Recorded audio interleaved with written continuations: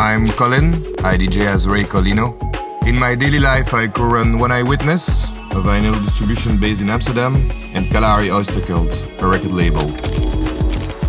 We started One Eye Witness because we felt there was a gap in the way of doing things as we wanted to do them. So we've built this entity to provide a solid production and distribution service to labels all around the world. My label is built around 90 sounds, you know. Try to implement 90s nostalgia with a current sound design because that's the music that I play and I love.